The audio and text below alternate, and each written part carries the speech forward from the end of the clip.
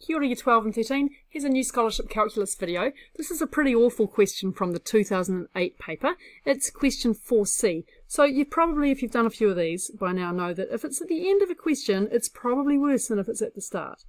And it is. So this is what we've got. We have to find the condition for g of x to be exactly divisible by x minus 1 for this function here. We're just told that a, b and c are constants and g of x is obviously a quartic. So it's going to be some kind of upside down thing.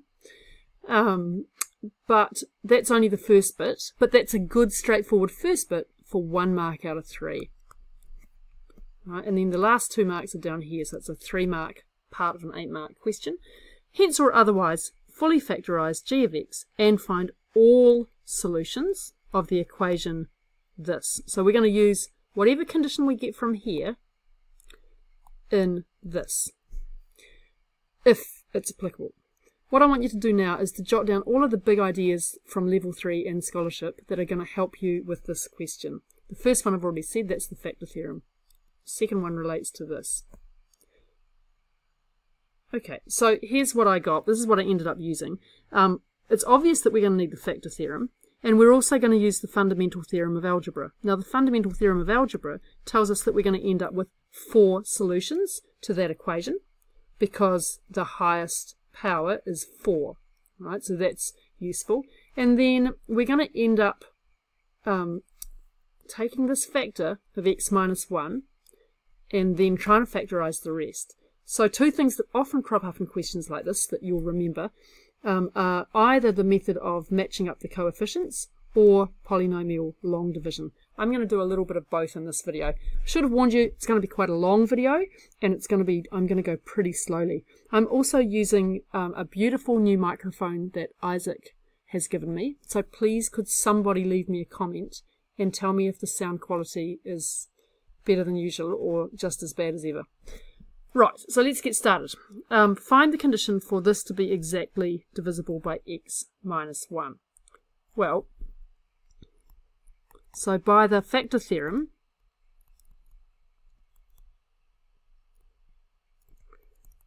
if x minus 1 is a factor, which is what exactly divisible is all about, then we have g of 1 is equal to 0. So we can substitute in x equals 1, and this is what we get. Negative 2 minus a to the power of 4 plus b plus c equals 0. So the first thing I can do is I can rewrite that in some way. Now, the first thing I tried to do was a bit go nowhere-ish. And I got this, and I puzzled over that for a while. So, but that's fine. That's your condition. That's one way to write it. The other slightly cleaner way to write it is to say, well, if this um, quartic in this form here is going to have x minus 1 as a factor, then we can also say that b plus c must equal 2 minus a to the power of 4. So that's probably the most elegant way to write that condition. Now that's your lead-in to the second part of the question, which is to solve a particular quartic equation. And it's this one here, right? A lot of colours on this slide today. So what we have to do in order to um, say that x minus 1 is a factor, we've got to check that the condition here holds. So we're going to go back up here and we're going to say, well, what's A? Well, A down here is 1. B is going to be 8. And C is going to be negative 7. So let's write those out. So A is equal to 1. B is equal to 8 and c is equal to negative 7. We'll put another little box around those. What I have to do next is to check that the condition holds. So b plus c is equal to 8 take away 7, which is 1. So that's my left-hand side. Now I'm going to check the right-hand side. So I'm checking this condition here. 2 minus a to the power of 4 is equal to 2 minus 1 to the power of 4, which is 1, which equals my left-hand side. So we can do a little smiley face. Not in the scholarship exam, please. Um, it's very serious. Uh, so the condition is met. Condition satisfied. So because the condition is satisfied, we know that x minus 1 is a factor of this particular case. is a factor of negative, well, this polynomial. Where are we? Negative 2x minus 1 to the power of 4 plus 8x minus 7. And we're going to call this p of x or we could call it g of x, I guess. Right, so now comes a little bit of just hard guts it through work. We know that it's a quartic, so we know it's going to have four solutions, and we've found our first one. So we now want to rewrite it as follows. This is the thing that we're trying to solve. x minus 1 is a factor. So, what do we know about the rest of it? Well, this is a linear factor, so this bit in here must be a cubic. Now I'm going to write that as a general cubic, and I'm going to use A, B, C, D. It doesn't matter what you use. Don't confuse this A with the earlier A. Right, so there we go. There's my general cubic. Right, now suppose you just got that question in level 3 or A level, what would you do next? Because that's all we have to do here. Well, there's two ways to go. Um, we need to match up coefficients. The trouble with this left-hand side is that we haven't cleaned it up enough yet. So this is where your binomial expansion's going to come in. We need to expand out this thing here without mucking it up. So let's just revise general binomial expansions. We've got ax plus b to the power of 4. So that will be 4 choose 0 times ax to the 4. 4 choose 1, ax cubed times b. 4 choose 2, ax squared b squared. And we've got two little terms left to go. 4 choose 3, ax times b cubed. And if you're not familiar with that, go watch one of the A-level videos on the binomial theorem or look in your Delta book. So we need to um, apply that to this. Remember that these numbers just come out of Pascal's triangle, so they're the fourth row of Pascal's triangle. Right, so first I'm going to expand 2x minus 1 to the power of 4. Um, I'll deal with the negative later. So 2x minus 1 to the power of 4 goes like this. It's going to be um, 2x to the power of 4 plus 4 times this plus 6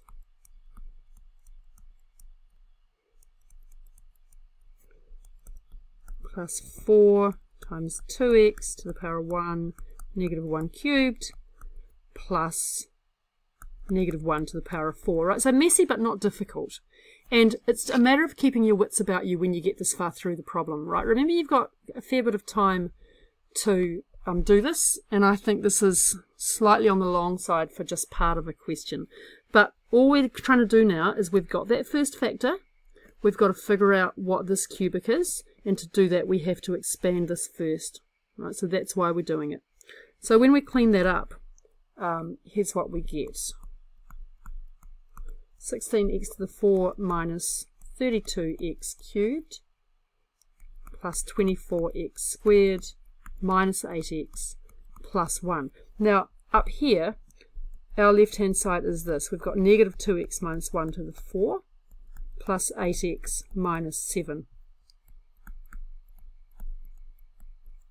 So we can now simplify that as negative of the expansion we just did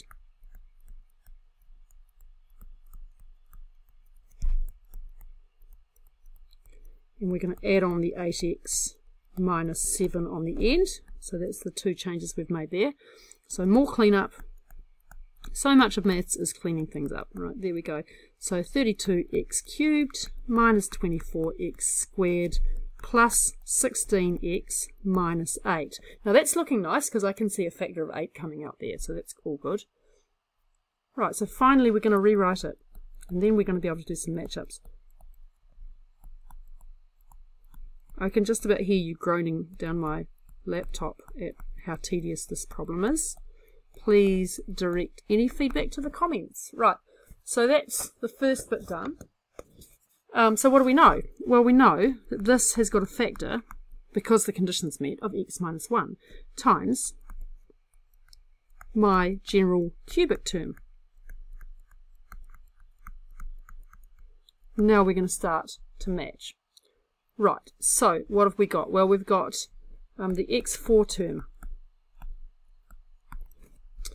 Negative 16, which is the coefficient coming out here, has got to come from this one times this one. So that's really easy. Right, so we're matching up coefficients and we're going to get A directly. So that's good. That one's done. Let's work on the constant now. Negative 8, right? So do the two easiest ones first. Negative 8 is equal to negative D. So D is equal to 8. Right, we've got B and C left to do. Um, I'm not going to work with the squared term because I want to save myself a little bit of work. We're going to work with the cubic term. So where does that come from? Well, 32, I'll just put some notes. So the x cubed term gives me 32 is equal to negative a plus b. That's a plus there right? Again, if this is too fast, go back and do some factor theorem work out of delta. And we know that a was equal to negative 16. So negative a is 16, giving us b is equal to 16. And the last one that we're going to work with is we'll get the x term, the x coefficient. Right, so the coefficient on the left-hand side is 16. That has to match from over here x times d minus x times c. So we get 16 is equal to d minus c, which is 8 minus c.